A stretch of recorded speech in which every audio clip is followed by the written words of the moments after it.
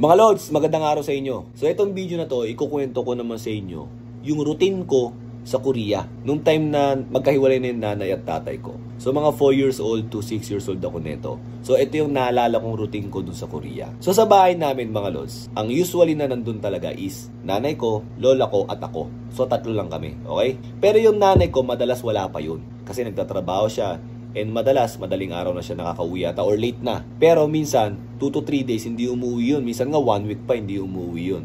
So basically, ang mas madalas kong kasama is yung lola ko. Kaya ang lola ko talaga nagalaga sa akin, di ba? So ngayon, ganito umaandar ang araw ko. Umaga, siguro gigising ako mga 7 o 7.30. Kasi papasok ako, di ba? Kinder. So, lola ko usually ang naghahanda sa akin ng pagkain. Kasi ang nanay ko, it's either wala or nagpapahinga. Kasi late nga umuwi. Ngayon, susunduin ako ng school bus. Papasok ako.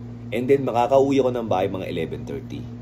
Pag uwi ko ng bahay, madalas talaga ang nanay ko wala na. Malamang pumasok na or nagtrabaho na, di ba? Ngayon, 50-50 chance na yung lola ko is maabutan ko.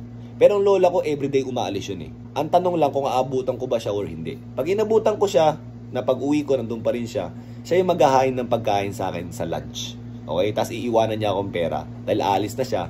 Dahil sa dinner, maghahanda ako para sa sarili ko. 4 years old, 5 years old ako noon. Or minsan naman, pagdating ko ng ano, galing school, sa bahay, pag wala naman yung lola ko, eh meron ng pagkain na nakahain doon. Nakaayos na yon. Pagkatapos, meron nakaiwan na pera. So magkano ba yung pera nakaiwan? 500 won. Yung 500 won na yung mga lods, parang ano yan, ang pakiramdam namin dyan dati is parang 5 piso dito. Ganun.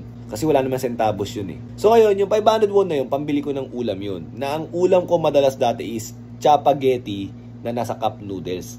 300 won lang yun dati. Okay? So ngayon, nakita ko siya nasa ano na 1,000 won na yata. Nakita ko siya sa may ano, sa may convenience store doon. But anyways, yung chapageti na yun, ang tawag ko dati nung is chocolate spaghetti kasi kulay brown eh. Tapos minsan sinasamahan ko lang ng kimchi yun o kaya ng kaktugi. Kaktugi is labanos na kimchi. Pagkatapos lods, ako magsasaing sa sarili ko. 4 years old, 5 years old, 6 years old, marunong na ako magsaing yan. Kasi madali lang naman, susukatin mo lang naman ng daliri, ira-rice cooker mo lang, di ba? So, ganun yung ginagawa kong routine araw-araw. So, may matitirang 201 sa akin, di ba? Yung 201 na yun, it's either ibang arcade ko yun. Video games.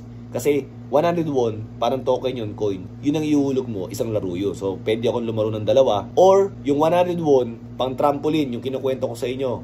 Magta-trampoline ako, 15 minutes yun. And then yung another 101, ginagamit ko minsan yung pambili ng asukal na merong ano, may tawag doon, nakalimutan ko na eh. Sa Squid Game meron doon eh. Kasi pag nanalo ako doon, another yun. Kaso nga lang napakahirap manalo nun. Yung shape kukunin mo. So, bakit nga ba laging wala yung nanay ko? Di ba nagtatrabaho nga? So, yung lola ko, bakit naman laging wala? Kasi, naglalaro siya ng cards. Alam niyo yung maroon na cards sa Korea? Yung parang yun yung tongits nila. Ang hilig sa ganun ng lola ko kung saan saan nagpupunta yun. Minsan nga naalala ko, 9pm pa umuwi yun eh. Pero ako, Lods, nangyayari din sa akin yan. Kunwari, mga 5pm, ganyan, wala na akong kalaro kasi nag-uuwi na yung iba. Ang ginagawa ko is naglalakad-lakad pa ako. Kasi alam ko wala naman akong aabutan sa bahay. Natatakot din ako maging sa bahay. Minsan duwag din ako eh. Madalas pala duwag ako. So, ang nangyayari, naglalakad-lakad ako sa labas, naghanap pa rin ako ng mga kalaro.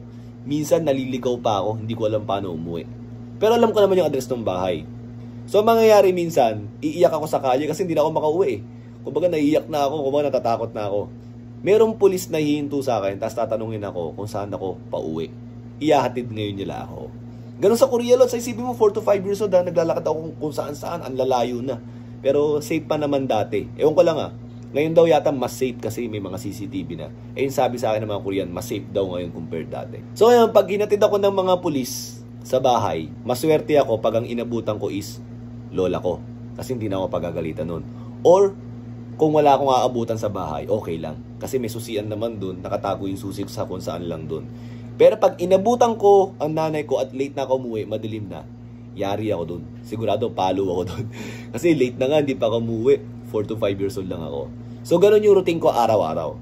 Nabago lang yung routine ko nung may tumira sa amin na pinsan ko sa malayo na which is yun yung parang naatasan para bantayan ako or alagaan ako. Malayo age gap namin nun.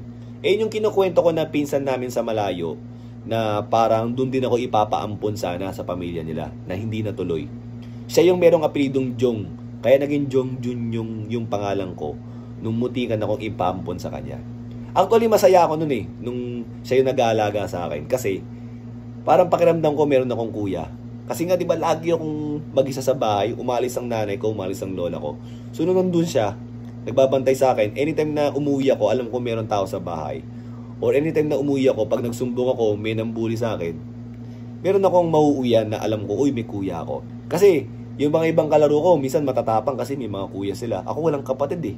Ni nanay, ni lola, wala nga sa bahay kasi nga, yung isa nagtatrabaho, yung lola ko naman is nag para nagtutungits, yun talaga. So yan mga lods, ang routine ko talaga sa ano, bahay. Kaya nga tuwan-tuwa ako pagka minsan dinadala ko ng nanay ko doon sa may tito ko na merong farm ng mga bulaklak. Pero doon, nakakasama ko naman yung tito ko. Kasi, syempre yung toka niya is alagaan yung mga halaman sa farm. Tapos yung nanay ko naman yung nagbebenta doon sa may mismong pwesto. Siguro ganun yung toka nila.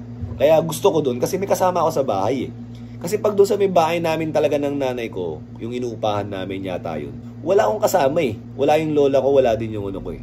Kaya masaya din ako minsan pagka dinadala ako sa tatay ko. Although, ang problema nga lang, pag nandun ako sa tatay ko, natutulog ako sa likod minsan ng speaker.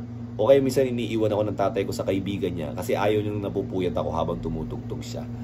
So mga lord, sana na-enjoy niyo yung kwento ko na to, kung ano ba yung routine ko doon sa Korea during the time na talagang magkaiwalay na yung nanay at tatay ko. So tandang-tanda ko yung mga alaala na yun. Hindi ko alam kung bakit.